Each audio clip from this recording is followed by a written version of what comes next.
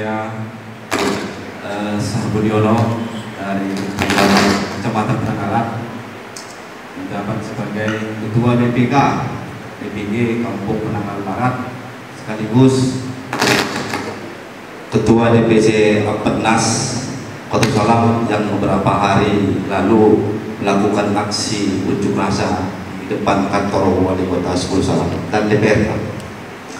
Eh, Kata-kata penghormatan kami tumpangkan pada pembicara terdahulu Eh, Bapak Ibu yang kami banggakan.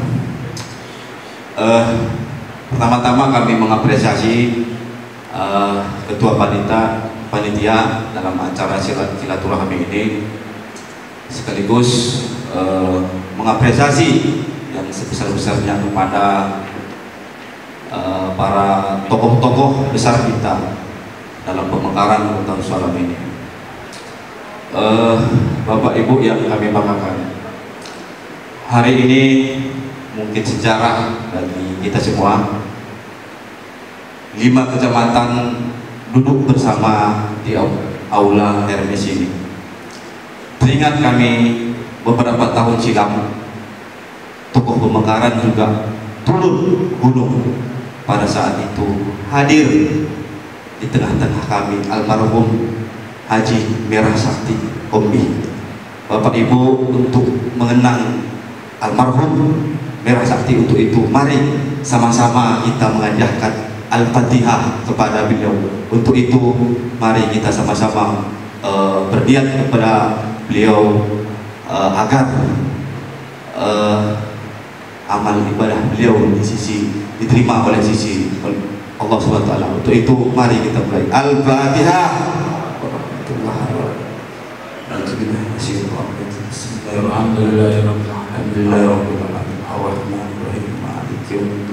Ya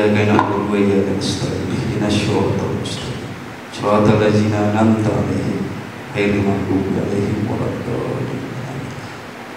Bapak Ibu yang kami banggakan, sebagaimana pada beberapa tahun yang lalu, saya harap atau saya pikir silaturahmi itu berjalan sampai sekarang.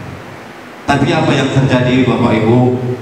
Setelah para elit politik di kota Sepuluh Salam ini ketika kepentingannya maka silaturahmi itu tidak terjalin sampai saat sekarang ini. Dalam tentu tanda kutip kami bertanya ada apa? Tapi hari ini terjadi lagi pertemuan tokoh masyarakat. Bapak, eh, tolong itu dipadatkan ya pertanyaannya. ya baik. Ini eh, kemudian. Harapan kami ini juga ke depan ada lagi diskusi-diskusi seperti ini. Yang ada lagi. Kami mohon kami generasi muda ini ingin sekali mendengarkan langsung dari tokoh-tokoh di Pemko Kota Salam ini? Eh, baik. Eh, pertanyaan kami dari Kecamatan Penanggalan sebagaimana keluhan kami selalu dalam air bersih. PDAM dalam satu tahun 12 bulan lebih banyak tidak ada airnya ketimbang ada airnya. Ini PR kita bersama juga.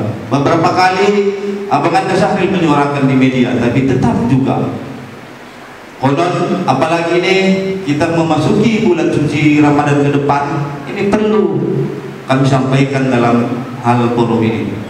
Kemudian dan sejarah baru aparatur kampung yang ada kota Salam ini unjuk rasa di kantor wali kota Sepuluh Salam dan nanti di DPR 9 bulan Bapak Ibu kami aparatur kampung tidak menerima honor belum lagi kabar-kabar angin dalam tanda kutip enam bulan itu dihilangkan.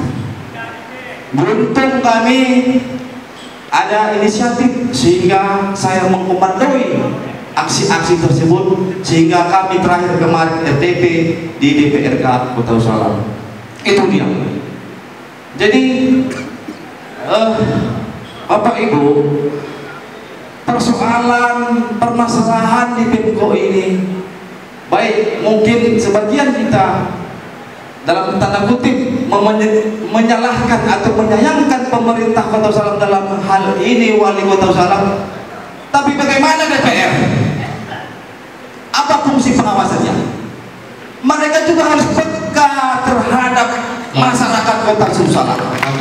Itu dia kalau wali kota atau pemerintah kota sebelum salam lalai maka DPR mengingatkan mana fungsi awasannya Ah, Ini bertanya aja, bertanya aja, iya sebentar sebentar Pak Sekretaris.